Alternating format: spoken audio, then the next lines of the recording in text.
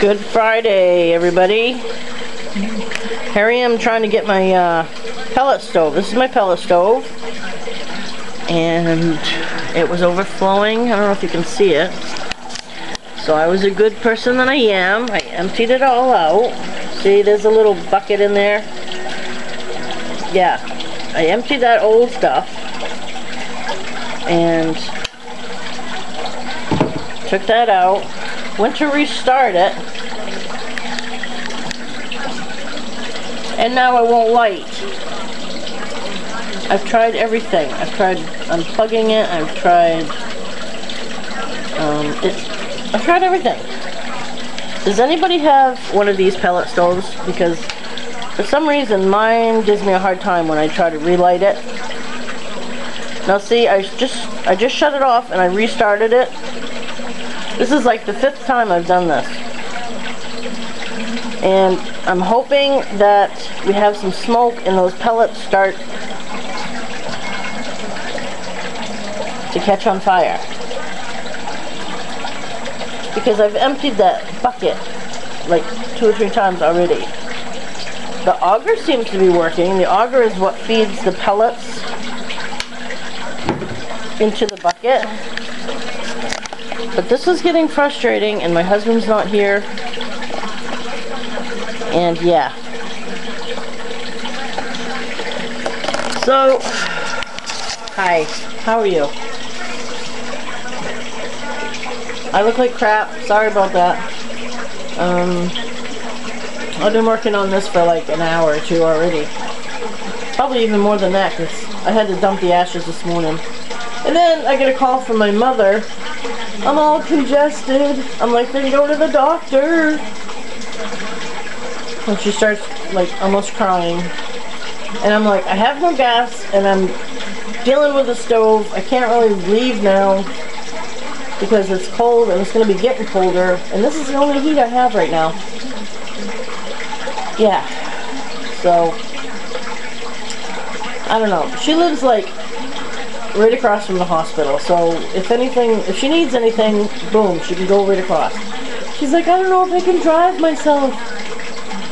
Oh boy. Of course you can. If not, there's always 911. Anyways, yeah, she has COPD. She smokes two packs a day. We've been telling her, she had double pneumonia last year. We've been telling her right along. Slow the cigarettes down. Get on your patches. You know. And I don't want to sound like a hypocrite because yes, I do smoke, but I smoke maybe two to three packs a week in seven days. She smokes two packs a day, okay? There's a big difference. And when it's cold, I don't go out in the freaking cold.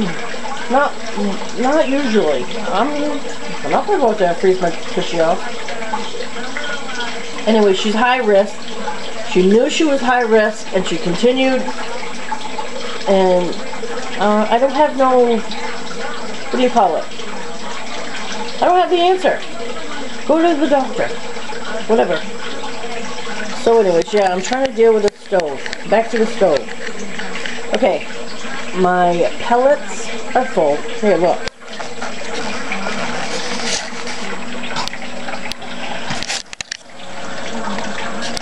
Pretty dark in there. I don't think you can see. Yeah, see? My pellets are all in there. And it's supposed to start smoking. Okay, everybody told me these damn stoves are supposed to be so convenient. So what do we do? We get one of these. Come on, work, you son of a bitch. Sorry. It's definitely frustrating.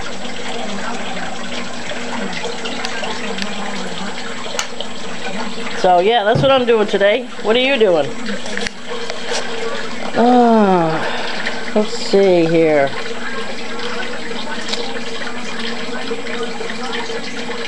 Oh boy, wait a minute, I think I see smoke. Come on, baby, work. If we get smoke, it'll be great because that means it's trying to ignite. Come on, work it. Anyways, if anybody has one of these uh, pellet stoves, can you leave me a message? Because, uh, yeah, I need some help, apparently. Either that or I just have a lemon. Because we've been fighting this thing ever since we got it. We've only had it for like a week. And I live in a mobile home and I don't know if I'm supposed to have an inspector come in and inspect it or what. So, and a lot of the pellets are junk. I mean, they're all stuck together. They're bigger than they're supposed to be. It clogs up the auger. Yeah. I don't know. I think it's time to get some oil. Next week. We can't do it this week because uh, our electric company was at my door yesterday. Gonna shut me off unless I gave them the whole check. Which pissed me off. They don't care nowadays if you have kids or not. They want all the money now. No questions asked. I'm like, excuse me? We just made a payment. Well, it's not enough, lady. We want the whole thing. So, yeah. We have very little money this week because of that. So, yeah. There's a little rant for you. And I'll let you know if this thing actually works.